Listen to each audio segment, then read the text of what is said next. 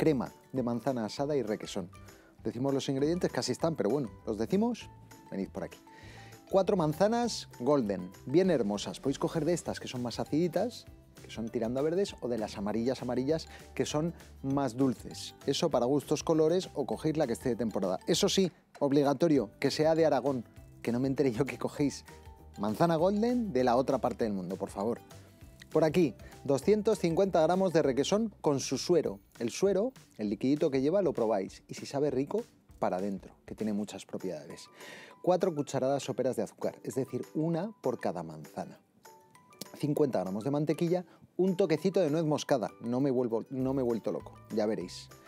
Piñones y canela qué cosa más sencilla y más rica. Vais a flipar lo bueno que está esto. Cogemos las manzanas que ya están lavadas y bien lavadas y vamos a aprovecharlas al máximo. Otra vez, receta de aprovechamiento máximo.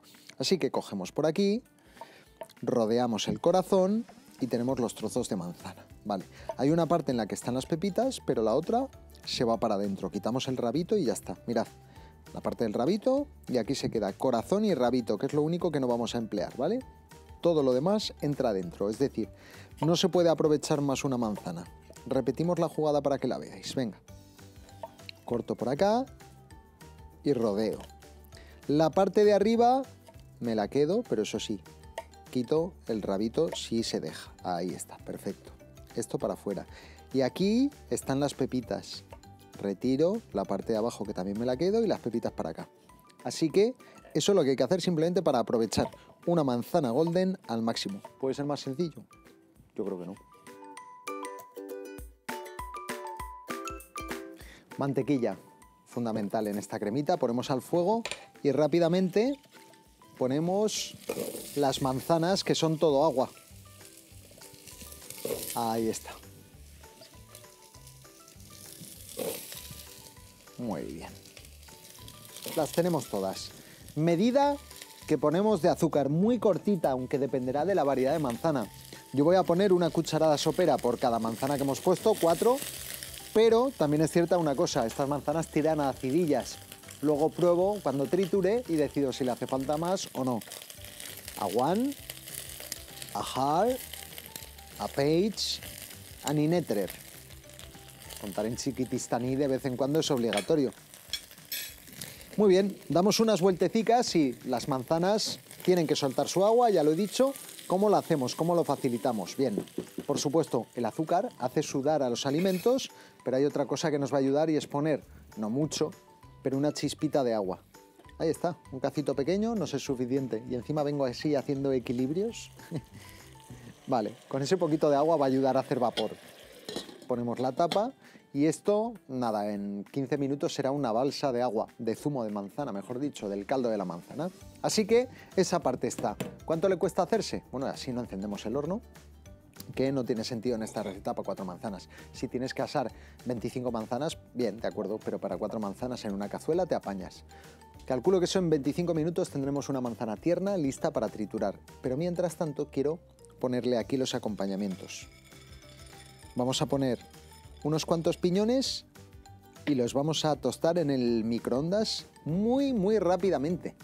Los piñones en el microondas o cualquier fruto seco, no hace falta aceite, te olvidas casi de dar vueltas, simplemente cuando se para el microondas le das un meneito y vuelves a poner.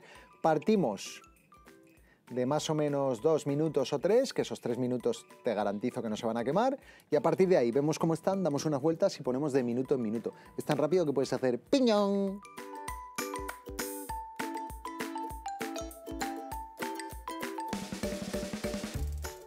A esto queríamos llegar. Manzana bien tierna.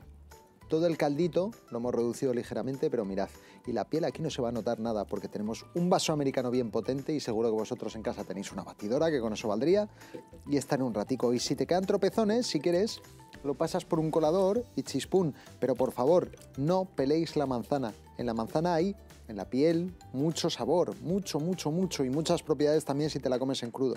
Así que si los, dientes, si los dientes os lo permiten, no peléis la manzana, que es malgastar manzana. Bien, se nos olvidaba una parte fundamental, nuez moscada. No pasa nada, puede ir ahora perfectamente. Toquecito de nuez moscada, un poco menos que si fuese una besamel, eso sí, muy bien. Y le ponemos también un toquecito de canela molida. Ahí está. ¡Guau! Madre mía. Además tenemos aquí el requesón. Requesón, son, son. Ponemos unos 250 gramos de requesón con su suero. Lo tenemos. Y trituramos muy, muy fino. Pero que muy fino. Tiene que quedar, pues eso, que no notes que haya ningún tropezón. Entonces hemos convertido unas natillas de manzana asada en unas natillas de manzana asada y requesón. Trituramos bien finito y a la vuelta le ponemos los piñones que ya están súper tostados.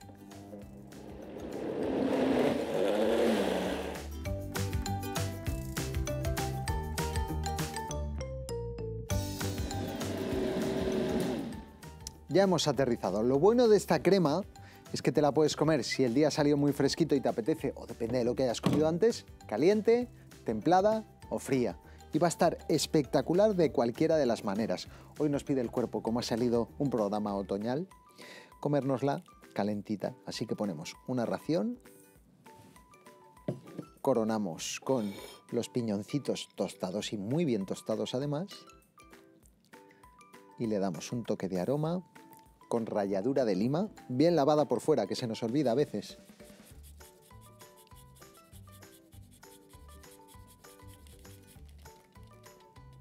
Y lo tenemos. ¿Qué os parece? Qué tontadica y qué maravilla. Por cuatro perras gordas, bueno, los piñones no, pero que tampoco hemos puesto muchos. Tenemos nuestra propia crema de manzana asada, requesón y piñón.